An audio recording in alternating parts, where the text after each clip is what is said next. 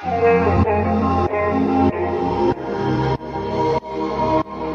50 like I will buzz cut his hair, okay? Okay, so this game will decide what type of haircut he gets. If it hits right in the middle, he's getting all of it off. Right here, he's just getting the top off, and then if it hits right here, he's just getting the sides off.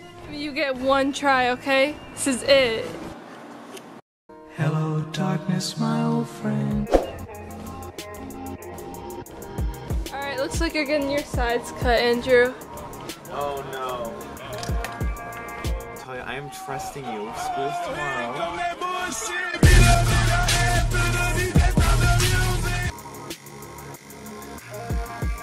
Shit. Do it lower. Lower, Talia. Cutting anything? Yes. Oh my god, that's a lot of. I just felt a huge.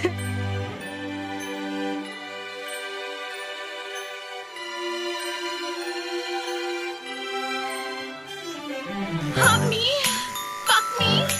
Daddy better make me show me water. Can you sit back down? Talia, Talia.